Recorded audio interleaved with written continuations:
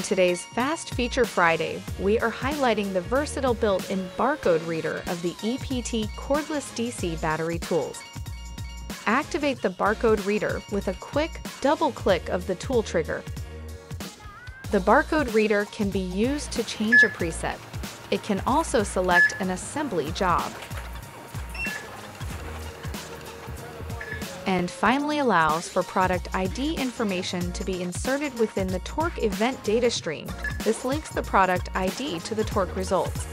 If you would like more information, request a consultation with one of our torque control experts today or visit www.mountztorque.com.